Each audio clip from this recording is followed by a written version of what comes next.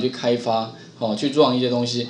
但是我们的 Java 哈，最早其实哈写写这个呃程式的话，你其实用记事本就可以写，只是用记事本哦哦一定会很痛苦。第一个，它没有办法做专案管理，变成你另存新档的时候，你可以存成什么点 Java，也可以啊。然后你再用 compiler 去把它 compile 成什么 compile 成点 class 的档案，哦，可是这样非常辛苦。其实早期的开发真的是用记事本。而且以前我记得有一些考试哈，真的还规定用记事本写 Java，但是真的太痛苦了，哈，太太太困难。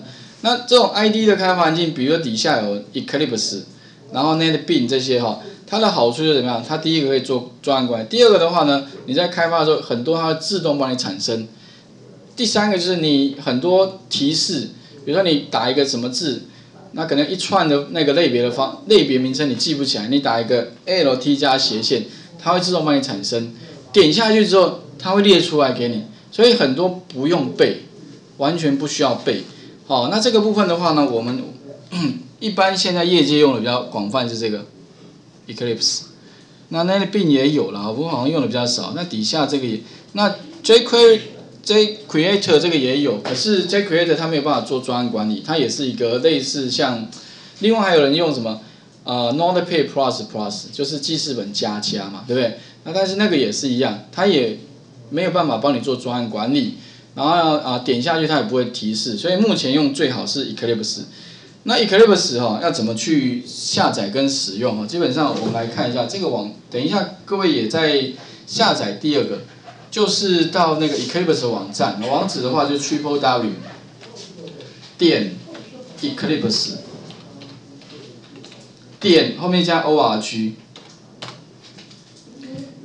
一下哈。那这个也是非常大，Download 有没有？现在到这边的话，找到 Download，Download 里面的话一样哈，啊也有分三十二跟六十四，所以我们用的版本哈，我们用 Standard 的好了哈。然后呢，请各位 download。如果你刚刚是 download 的是六四位元的话，请各位务必哈要 download 这个六四的。那如果你刚刚 download 的是叉八六的话，那你就是叉八六，就是三十二的。那我的习惯这样啊，其实哦，我就为了三十二、六四都可以用的话，那我干脆都装三十二。为什么？三十二、三十二也可以用，六四也可以用，哦，所以两个环境基本上都可以用。